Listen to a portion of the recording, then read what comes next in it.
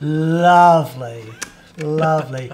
hey guys, welcome to that pedal show. Dan here. Mick here, and Dave Leonard. Yeah. From, Univers- from Universal There Audio. go, There we go. There we go. Um, so we have had a very privileged, unusual, exciting, Unbelievable, extraordinary. yeah, day. So as as regular viewers will know, we recently switched our recording gear to uh, Universal Audio, and okay, the guys are sat in the room, so it's going to sound a bit ass kissy, but it's changed our it's changed our world in terms of the depth and the dynamic range and the experience we have with recording audio. It's enabled us to do things. So UA are about to come out with, or maybe by this video, by the time this video comes out, a new product called Ox. And David was in the UK, and we said, well, okay, instead of coming on the show and just doing it normally in our little room, why don't we go to some average studio we can find, you know, anywhere? Some guys, you know, what do they call it? Backroom studio in his house somewhere, and uh, actually do some proper It kind recording. of, you know, it is Peter Gabriel's backroom studio. This is what this is. We're at Real World Studios, and it is immense. And we've Ah. had the great pleasure today of plugging in and playing. We tracked a couple of tracks, um, and here we are at the end of the day, having had that experience. So, David, thanks very much for doing this. My pleasure. It's great to be here with you Um. I think it would be good to start off with explaining what Ox is. Ox is, uh, we, we call it the, the amp top box. It kind of rolls off the tongue. Ox, the amp top box. Um, and basically, it's a box that you plug the speaker out of your amp into and then come out of it right into your speaker. And then you can also go into your recording rig or you can run out of headphones. And basically allows you to get everything you possibly ever wanted to get out of your tube amp. So it's part attenuator. Yep, it's first and foremost a big part a reactive load that allows you to attenuate. So it actually loads your amplifier like a speaker. It's not just a like a like a load box. It's a reactive load box. So it's actually changing impedance and doing all the cool stuff that a speaker does, and that's what makes it feel great to Yep. us as guitarists, like plugging into it. Um, it allows me to turn the amp down, so I can we can talk over it. Yeah, I'm not even going to put the uh, vocal mic, uh, the amp mics up at this point. Yeah, that's just the that's vocal it, mics. right? I can still keep it up, or I can turn it down completely and plug in headphones, or come out of my line outs here. And right now we're going into the speakers here in the studio, and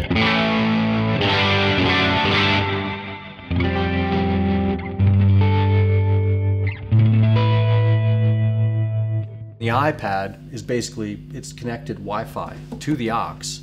This is showing us what model is in is in the Ox. Because in addition to being able to turn the amp down here, once I turn it off completely, I have Universal Audio's own physical model up right now of basically the same speaker and cabinet. So When, when you say model, though, we're not modeling the amplifier. The amplifier is, is you know, it's, um, for the guys who watch the uh, attenuator show, same concept, working as, a, as an attenuator. This is simply modeling the speaker cabinet. It's sort of like saying everything after your amplifier, Right. from the speaker out.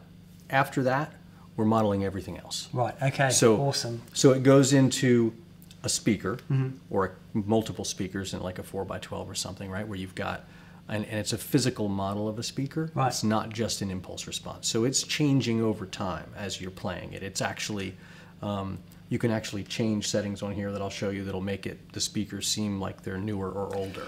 Can you just? Uh, I'd love to know a bit, a bit more about that. So, an impulse response, uh, which is something which is technology that we've been, you know, lots of people are saying it's, you know, it's the it's the way to do things, and Mm-hmm. this isn't that, right? This you've done something different. It's different in that it responds um, to what the speak what the, the amplifier is putting into it over time, like a speaker will. If you're pushing it harder, Yep. you'll get cone breakup. Right. If you're pushing Wow. it um, with certain notes, when I I can show you a couple models Mm-hmm. here where it actually does cone cry, where you get this lower harmonic that happens. that it happens in you know with real amplifiers. right? Yeah. And those are things that you don't get out of an impulse response. Okay. So it's this sort of level of detail you expect from Universal Audio when we model like a Neve, you know, or a, or a Fairchild compressor, or something like that. Mm-hmm. But now we're bringing it to speakers, speaker cabinets, the microphones after that cabinet, and then even the room that that amp is in. Wow. Okay. Can we hear some cone cry? Sure, we can do that. So if we go right in here, we've got this this deluxe. I can flip to a bunch of different cabinets here, but let's see. The first one that I know has cone cry is this uh, AC30. It's a, a model of an AC30, like you know 212 with Bulldog speakers. Yep. And even if actually if I go to the list, it'll say this open back combo has sub-octave cone cry at high G sharp and C notes. So if I take the speaker drive We So- probably turn off some Yeah, effects. so and turn just the delay it, Yeah. and the trem off, so we've just Yeah. got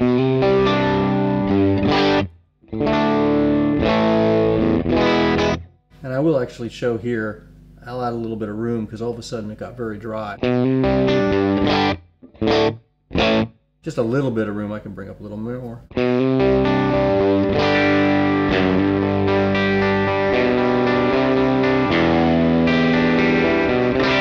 So That's instantly sort of nice. Yeah, recognizable, yeah, yeah. sort of an AC30-ish kind of a vibe, right? You can change the room. Can change the room as well, yeah. so I can actually take the dampening off and take the little rug out of there.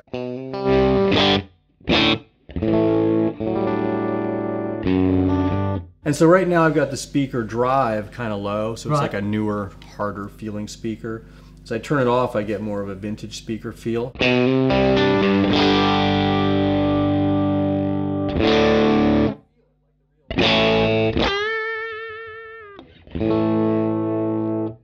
Think it was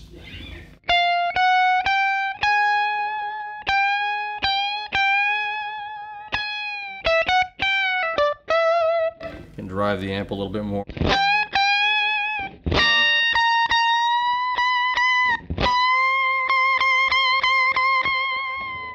And you can you can pull up old multi tracks you can find of like old vintage rock tunes and you know all kinds of stuff and solo guitars and you hear that stuff. Yeah. It's yeah. there, you know.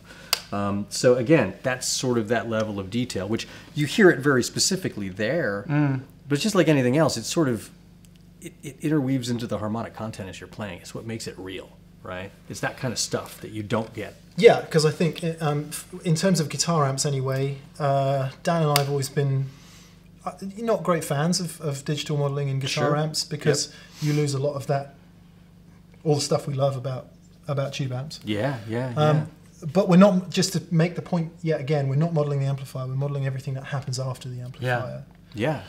So Well, you need, and you know, I love that. So you still you still need this. It's it's reacting with the amplifier. Yeah, I love that. absolutely. great. And and you've got all your pedals. Yeah. You've got all your tube amps. But what you're doing is you're taking the part of it that many people don't have a space that where they can play an amp loud. Sure. Sure. Yeah. Or even if they did it that it would sound any good. Or know how to mic up an amp really. Mm. Yeah. right? So with this, it's sort of this curated collection of microphones placed in the right places that our our product manager James Santiago is just a nut about collecting old mics and where to mic it and just he's just a tone, you know, guru basically. And he's sort of created this this this world where you can it's just all in the right spots, you know. Uh, I, I have a question at this point in time. If uh, I, I can see how this is awesome for guys with uh, um, digital audio workstations or, or DAW. See me branching out now. yeah, DAW. That's a new word. For Um, but if you, because I, you know, I, I don't really use that stuff at home. Can I take that and plug it into like my little Bose stereo, or do I need studio monitors to do this? No, you can just use headphones. And so any of these um, uh, combinations of cabinets and microphones, I can save them to this rig knob, right? So if I flip through here, I don't actually really have any presets I know of in here, but one by ten roomy champ. So it's like a little eight.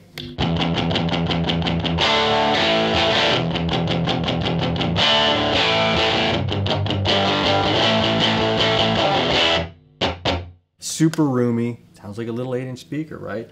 Flip it here. Now all of a sudden, flip it again.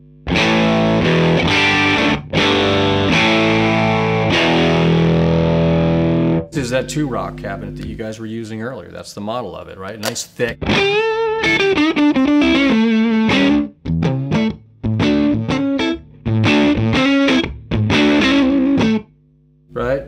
Any of this you can get out of your out of the headphones, right?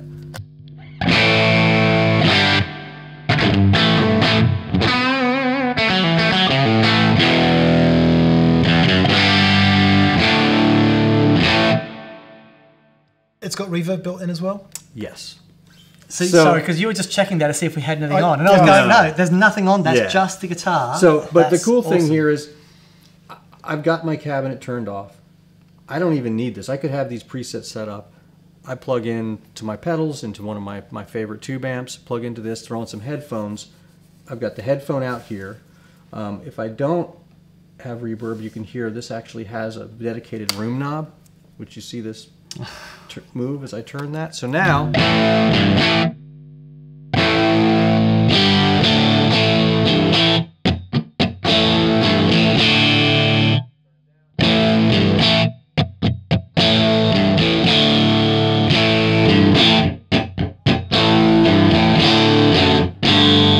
one nice thing to do actually is just turn down the mics. And then what does it sound like when you've got a room mic up?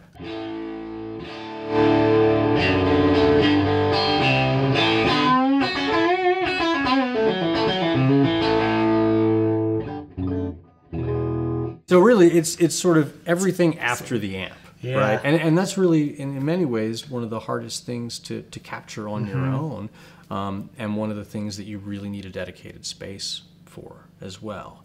You know, so yes, you guys are saying you're not really into using models and all of these things. Well, we're at least taking it back to that point where it's after the amplifier. Mm. You know, you've got your your collection of guitars and pedals and amps, and then you can plug into this, and without even running through your your into your studio, you can do it just through headphones if you just want to practice and jam. Yeah.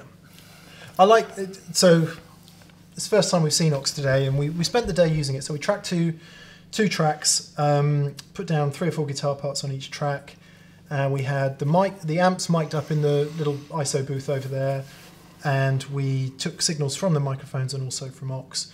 Throughout the whole tracking session during the day, we were listening to Ox back through the monitors, which was great. Could feel everything, could hear everything really nicely without having gone through the user interface yet, it seems like you've been very selective in terms of what's in there. There's not 8 million options.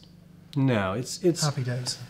yeah. No, I mean I think it- it's seriously, it's that's awesome. Good because okay, from good. from a um, someone who likes buttons and knobs, yeah, it's, you know, one of the things that's always um, held me back from going, you know, too deep down the rabbit hole with this stuff is just the millions and millions of permutations of stuff. I'm like, I just and, and, and I plug into an amplifier and I turn up and I go, that's what I want. That there it is. I just turned that knob, Yeah. and magic happens. You know, trying to have to go through menus and that sort of stuff to try and find that. yeah. And, uh, and this seems that you got 16 cabinets, and you know, Se- 17 cabinets. Um, actually, you can I can show you the list here. Just flip through them. I mean, there's a bunch of four by 12s and with 25s, with 80 watt Celestions. We even have these white 75s, which are these Altec Lansing speakers that Randy Rhoads used. So there's a lot of variety here. Um, 4 by 10 Bassman, um, the Alnico fif- uh, 50s, I think, is a get her Johnson speaker or something, AC30, um, black back 30 watt Celestions, twin, Vibrolux. I mean, it's a whole bunch of stuff here. But yeah, 17 total.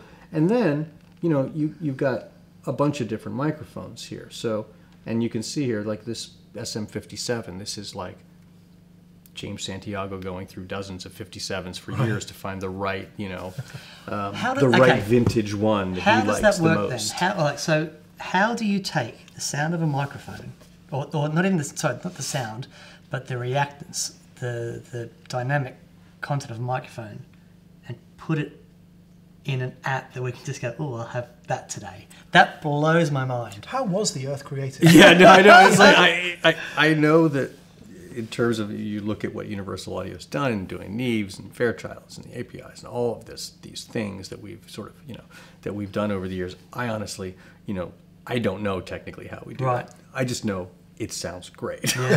Ultimately, right? I kind of don't want to know, other than that I know we've got some of these, you know, we've got these, but but it's a combination of having the guys who do the physical modeling. And then having the right product managers who really know the gear and Right. love the gear Right. and live the gear. It's like what like you guys do. Like you just dig into it and sort of you know, and and and and and find all of its quirks and find the things that you think are best. And that's really what this is. You know, if you look at this this 421, it's a vintage 421. And this is a model of a vintage ribbon 160 here, and that's because that's what most of the time Hendrix's rig was was mic'd with. You know, so it's very specific about you know in terms of what that is, and you've got enough choice here where you can use any of those um, six microphones um, on or off axis. So I can flip this, and you can see the mic actually turn off axis there. Um, then you've got EQ for each of those, so you can go in there and tweak that with this sort of graphic style EQ. You can even go deeper, treat it like a parametric, and then come back to the graphic after you've set your cue points. Um, and then on top of that, because we're Universal Audio and this is what we do, um, you've got the same EQ over the master, and then you've got a compressor. So I can go here and grab this 1176, turn it on.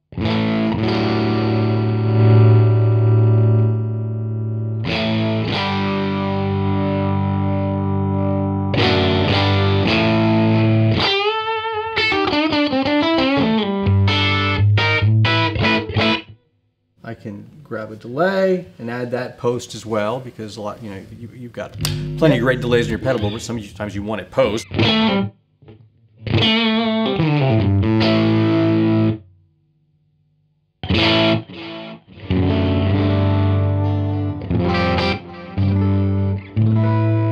has a little bit of feedback and modulation, um, and then of course, plate reverb.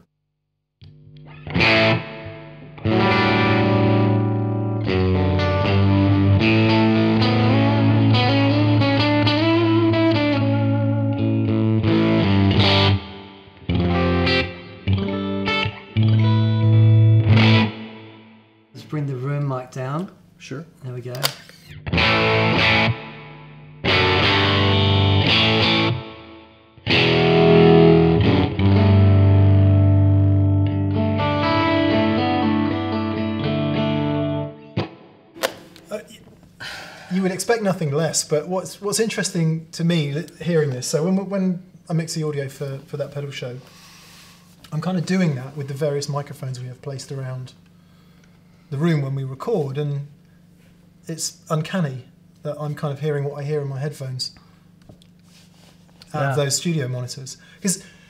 For anyone who doesn't do it regularly, guitar sound out of studio monitors can be quite weird, right? If you're used to stood next, if you're used to standing next to um, guitar speakers belting at you, it can take a minute just to get used to studio monitors. When we were in Germany with GitCon, we we were struggling, really, weren't we? Because it certainly was. there's yeah. a bunch of frequencies there that you don't really understand as a guitar player. But that, I mean, all day today and that.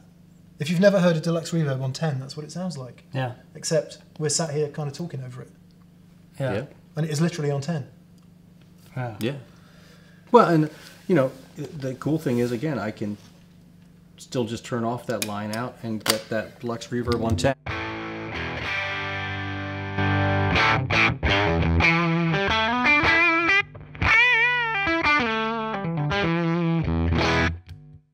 And you know, even that, a lot of work went into making sure the EQ is right, so that when you turn it down, it doesn't get too dark and it's not too wildly different. It just it, it feels right. Yeah, yeah. The reactive know? load part of the part of the um, Yeah. attenuator. Yeah, and you know an- another thing that I think is worth mentioning too um, is that it, it'll do that where I can have that.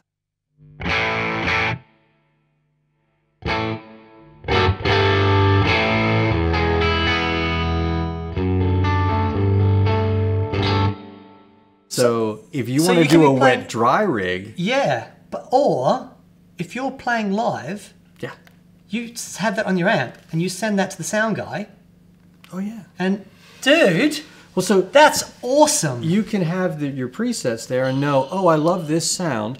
And when you walk into your local bar to play, or even a nice sized venue, and the sound guy, who's a sound engineer, um, you know, drapes an SM57 over Yeah. your uh, over your amp after he goes, is that one speaker or two speaker Over the middle there? of the baffle where Yeah. the wood is, yeah. Right. Or puts it on the Mike's head. the head. you know, because it's never going to sound good. Yeah. Sure. But you know that what you feed the, the, the front of house at that point is going to sound great. Yeah. You know. That is. Oh, sorry. I, I mean, the the studio stuff and everything is amazing, but the the live application has just yeah, yeah. got. I mean, there, there, there may well be people watching at this point going, "You idiots! This, you know, there's plenty of products out there that kind of do this already." It's it's something that Dan and I have never really liked enough to get into yet. So I feel this is probably the beginning of a of a journey Hmm. for us. But to be immediately to immediately want to make that journey now is is is a different experience.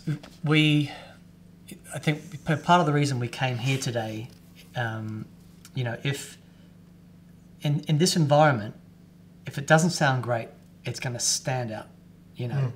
And you know we've um, and we've we've played through well nothing quite like this but you know things that do similar jobs and they're great but they're, they're always a slight compromise you know?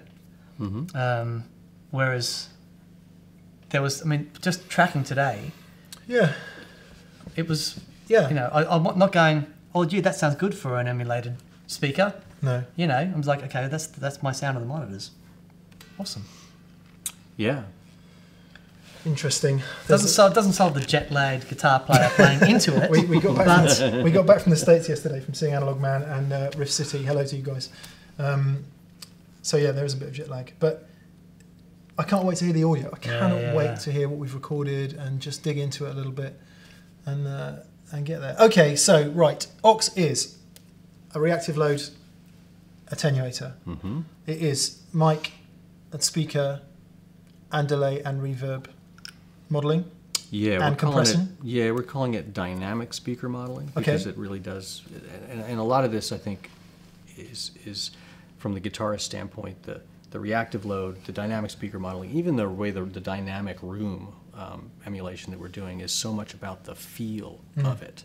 I think that's why you'll get those names. But yeah, reactive load, dynamic room uh, speaker emulation, dynamic room emulation, and just yeah, Everything that happens after your guitar amp. everything that happens after the guitar amp. as you can imagine, I'm in a slight state of a million questions and slight confusion. So I think the best thing to do is probably let's just play a bit. Let's get some sounds up, Yeah, yeah. twiddle some knobs, awesome, and uh, see what happens next. awesome. Yeah. Little telly, little telly whacking. Okay.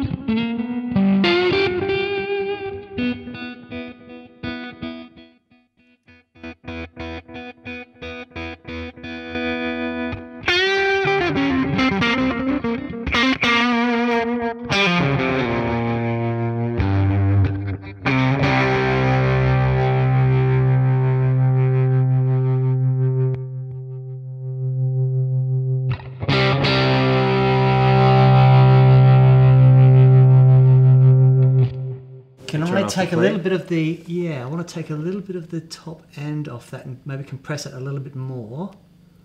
Get the compressor on. Yeah.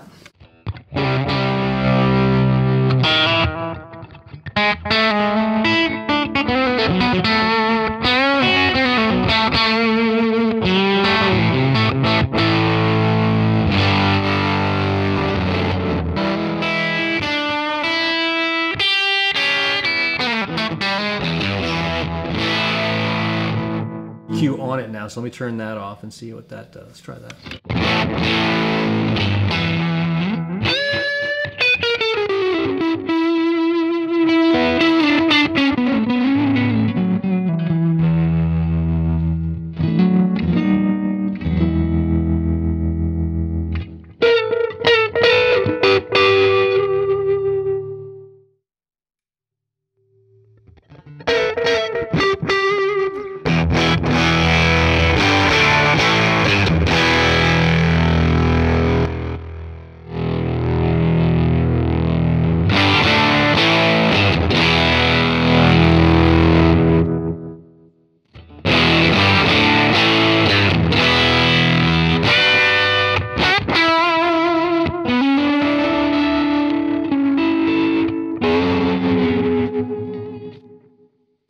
Strat and have a go? Because that's awesome. Okay, I'm.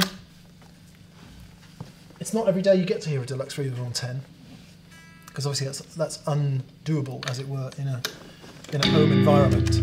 So I'm kind of I'm interested in if we dial the amp down to kind of the sweet spot, which is I guess somewhere between five and six in on a deluxe, maybe four and five, just where it starts to hair yeah. up a little bit. Um,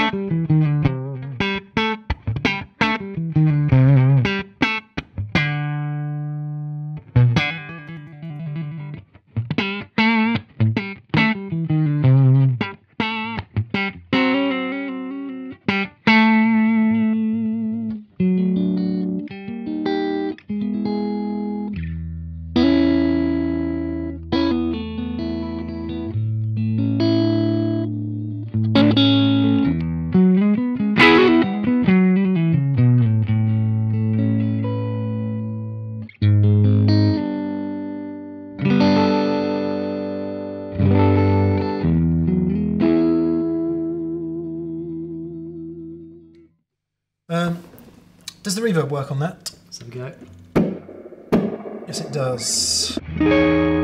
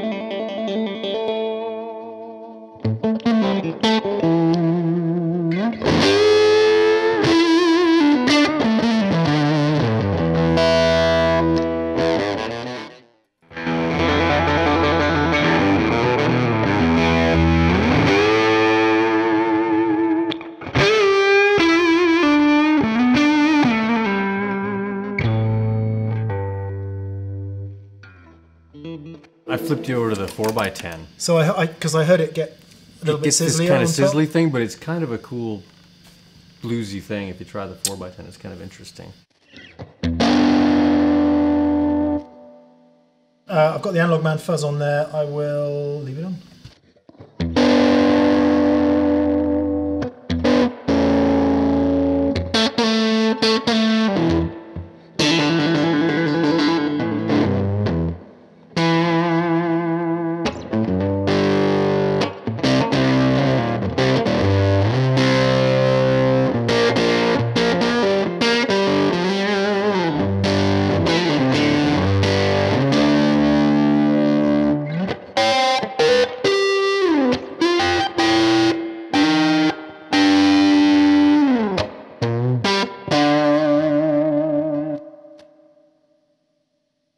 Bit bloody convenient.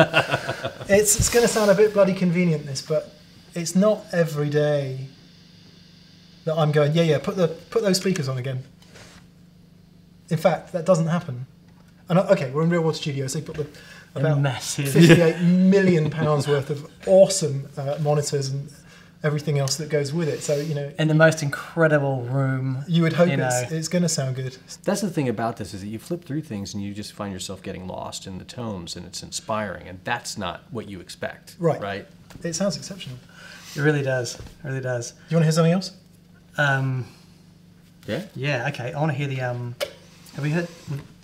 We'll do like a four by twelve. Yeah. thing? Let's let's um. Have a bit of a sh- bit of fuzz and swang into the four x twelve. Four by twelve.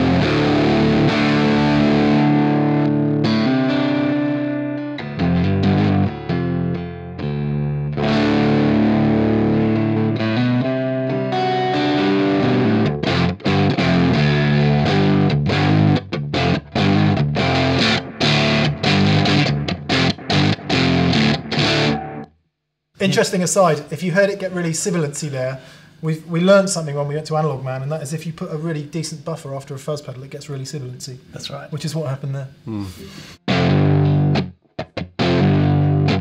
Sorry. So- I just I, I just no, wanna no, no. So the solution is put the delay there. Yeah. Delay here.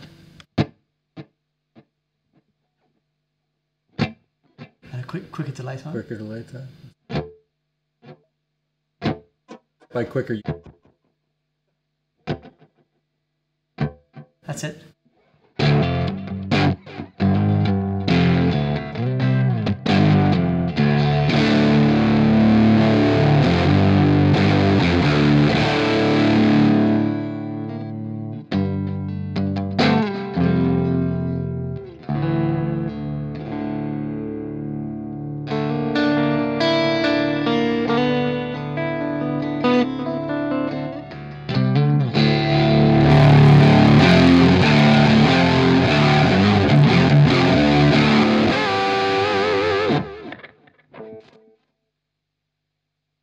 I just want to play it. It's it just you know, I'm not there going I'm not I'm not feeling anything in the way of me playing. yeah. yeah. You know? Yeah. Well, it's uh, quarter, to, quarter to ten and at night, and Dan's not going. Can we go home, please? Yeah. no sleep till bedtime. Yeah, yeah. Amazing. Amazing. Okay. Uh, thank you so much for Oh. coming and hanging out and uh, and organising this amazing day. No, thank you guys for for for all this and for bringing me to Real World. it's just awesome. It is nuts. Okay, so there's there's hopefully by the time you get to watch this video, there will be we'll have listened to the track, we'll have done some editing, we'll have been in and out, we'll have learned more than we know right at this moment. But blimey O'Reilly, what an interesting day, and uh, I think the beginning of some new avenues for us. Dan, would you say? At the very least. Yeah. Okay, before we go, uh, some quick thank yous. First of all, you normally do this. Okay. To, uh, let's see if we can do it the other way around. All right. Here we go. Brace yourselves. To our preferred exclusive retailers in the USA, it is. Riff City Music. Hey guys, we had a blast with you. Thank you so much. Uh, in the UK, it is. Anderton's Music. Anderton's? Yeah, yeah, Yeah, yeah. okay. And uh, in Australia, Pedal Empire. Nice. Three for three. Three for three. Thank you. In the hoop. Um, also, thanks to everyone on Patreon, all our patrons on Patreon. Yes, Uh, thank you, guys. And also, as you'll see, we've got some new stuff. If you want to go to the That Pedal Show store.com and purchase yourself an ashtray or a bear hat. Swish. Cheers, guys. Thank you so much. Once again, a massive thank you to David for coming on today. And uh, it My was pleasure. Totally Thank you very awesome. much. All right. Uh, thanks again. See you next week. Cheers, Bye-bye. guys. Bye.